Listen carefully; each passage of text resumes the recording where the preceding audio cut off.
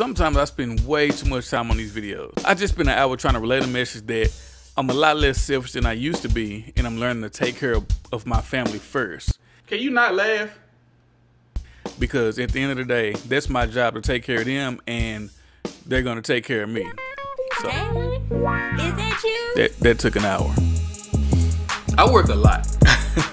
like a lot, a lot. I'm a firefighter. I work at the fire department. I'm a full-time dad. Somebody can ride a bike without training wheels now.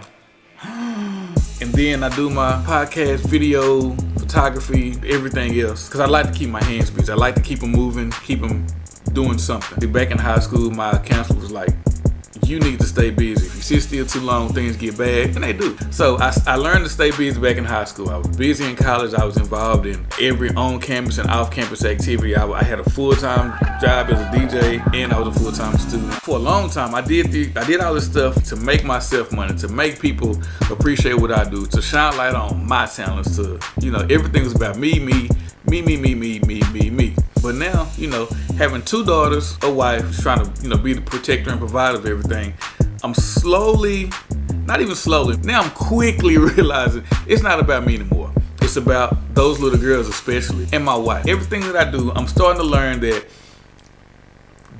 let's start over. Everything I do now from the free game series to the videos that I do to running the business of photography, all those things are no longer about me. I do those things the way that I do them. So when my daughters grow up, I can teach them how to run a business. I can teach them how to run a vlog. If they want to do start a podcast, I can teach them how to do that. If they want to learn to network, and that's what they hope to do. I can I can teach them all of that because I've been there. I'm there now. On top of that, my photography gets me into a lot of rooms I wouldn't be in otherwise. These interviews I do give me access to a lot of information I probably wouldn't get to on my own. And with the networking I'm doing right now, I'm sure I'll be able to get them good connection when they get old and point them in the right direction no matter what their plan is. So now that I have this new outlook on my work, I'm more selective in the projects I take on. If I can't learn from it, or if it doesn't pay a whole lot of money, I'm probably not really gonna be interested in it because it's not so much about me anymore. It's about the people that I care about the most. And the more I work, the less time I have to spend with them. So whatever time I spend away has to be for a real good reason. Because at the end of the day, the most important thing to me is being a great father and a great husband. You know, that's what I strive to be. I can be a great firefighter, great photographer, videographer, whatever the hell I want to be.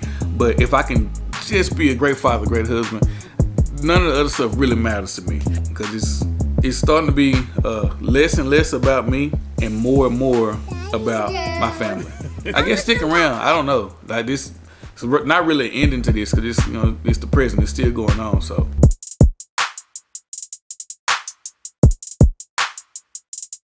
y'all ready to go get some waffles? No. No. Yes. You ready? Sarah, you get ready to get some waffles? No. Yes. What you want to do? Uh, get ready to get some uh eyeballs. Eyeball. We eating eyeballs today? No. Okay. Elaine, you No eat, candy. You, eat, you ready to eat some waffles? Yeah. Okay, Eyeball I'm re- candy. Okay, I'm down for some waffles. We need some waffles. Eyeball waffles. Eyeball. Eyeball waffles. Eyeball waffles. Yeah. We'll, we'll see if they got them right here, baby.